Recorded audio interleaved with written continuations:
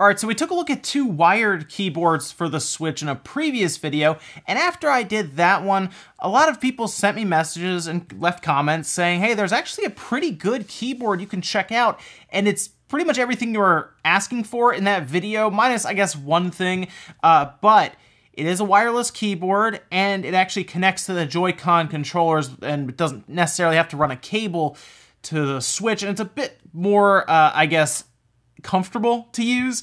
So I went ahead and picked it up and it's actually about the same price as those other keyboards I was checking out. So it's roughly 25 to $26, so right in uh, in that range. And that's the Dobe wireless Joy-Con keyboard. So it will actually hook up to your Joy-Con controllers and give you essentially what reminds me of that chat pad. That's actually what I was asking for in that video was a chat pad similar to what we see with like the 360, how that had one or the Xbox One controller now, which has one, and I was excited to check this out. So that's what we're actually gonna do here. We're gonna open it up, unbox it, and because it's like wireless, I guess we'll go ahead and uh, unscrew it and check it out inside as well, just see if there's anything crazy going on. So quick unboxing, it is, as you can see, this like square, and then it has two little so slots on each side, and those are actually for the grips, so your hands actually get a nice grip on those Joy-Con controllers when it's actually set up there, and it does have little indicators at the top. It's pretty basic. There's not obviously a lot that has to be said on this box,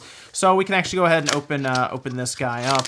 So here we go. We're in. It does have a quick manual to kind of go through, but to be honest, there's not a lot that you have to know about this thing to use it. It's, as you can see, it's pretty straightforward as you would assume.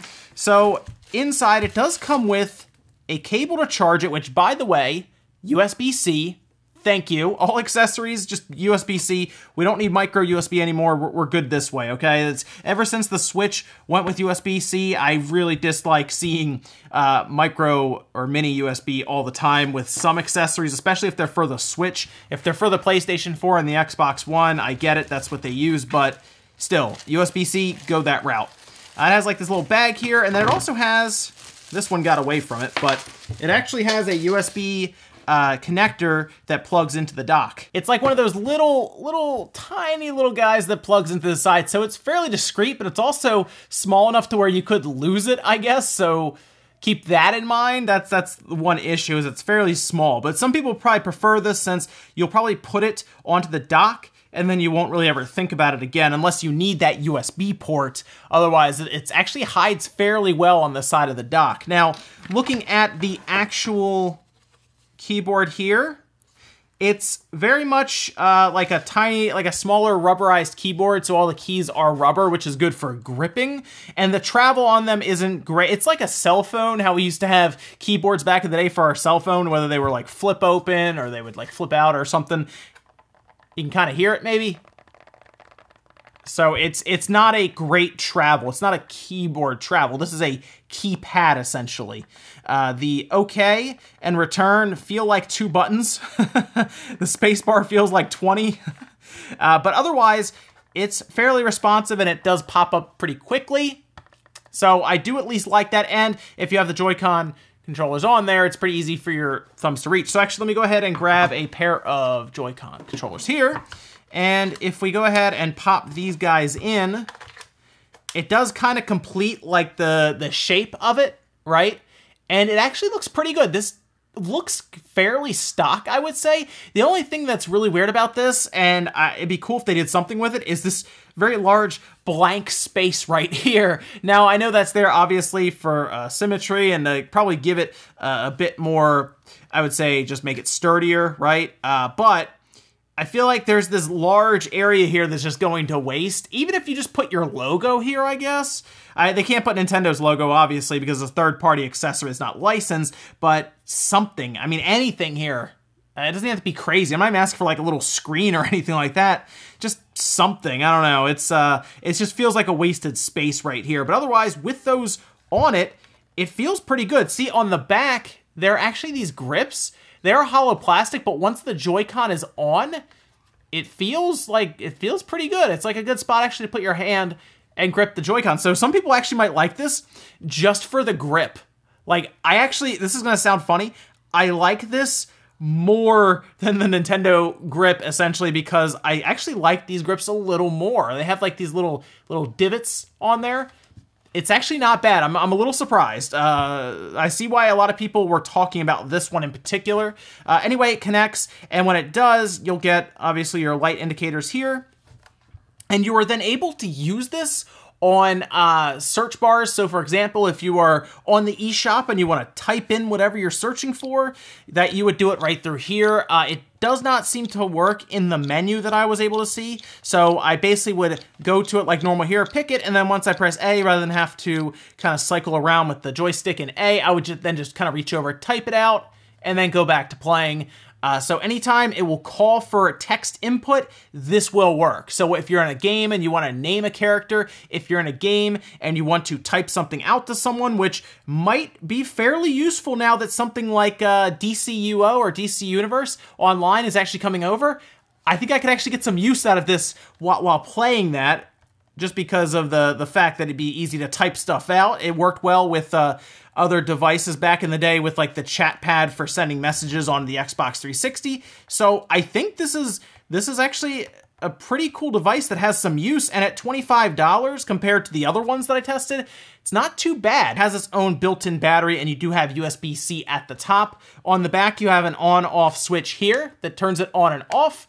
And then you have a sync button here that you press and hold and it will then sync up to this little guy here. And from what I can tell, you only have to do that once. Afterwards, whenever you turn it on, it will automatically sync up uh, and it'll work fine. So we can go ahead and take this apart now. It does say 2.4 gigahertz for the wireless frequency protocol, and then it does have a 200 milliamp hour battery. I don't think it needs a lot of power to do what it's doing, so I think that's probably okay for a decent uh, decent charge and it does have an 8 to 10 meter range, which is about right, you know, up to like 30 feet or so, so there you go. Uh, only a couple of Phillips head screws here. We do have uh, one of those nice warranty stickers that they like to put on all of these things, and actually we'll be in pretty quickly. They also decided to put some clips around the outside as well, so it clips together really nicely to hold it.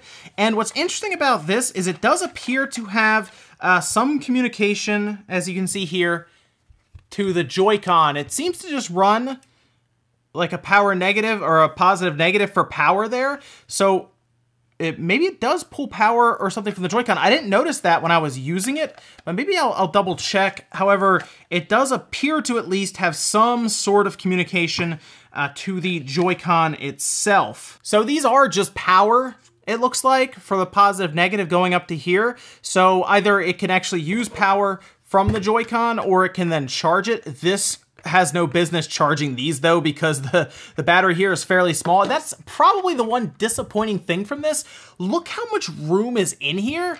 They could have put a bigger battery in here and obviously got more time out of this. Uh, I haven't tested it long enough to see how long this will last. I don't think it's going to last more than, say, four or five hours, but they obviously have plenty of space here. I also want to point out that the, the antenna is actually on the bottom, as you see here.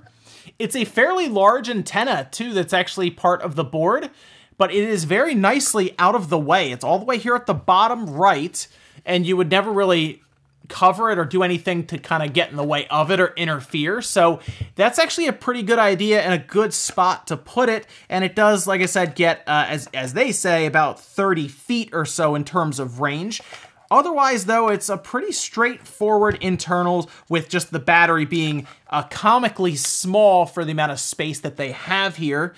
Um, I'm not sure if they would ever think about doing a bigger battery in there because while I think four or five hours is probably enough for most people, I'm sure there are going to be some who test the limits with like an MMO that comes out uh, and they're going to be playing this for a while. I could see somebody actually burning through the battery here. Although I guess you could also use a uh, portable battery bank to recharge it. It's only 200 milliamp hours, so I doubt it would take very long to charge through like USB Type-C at the top here. Um, otherwise though, fairly well built maybe here's the thing uh maybe a weight or two in here it's very very light okay it's extremely light. So that's not a terrible idea either just kind of drop a weight maybe around this guy just to give it a little little feeling of a uh, quality in there And that's going to do it for the Dobe wireless keyboard for the Nintendo Switch. I have to say, it's it's actually pretty good, and for the same price as those wired ones that I showed off before that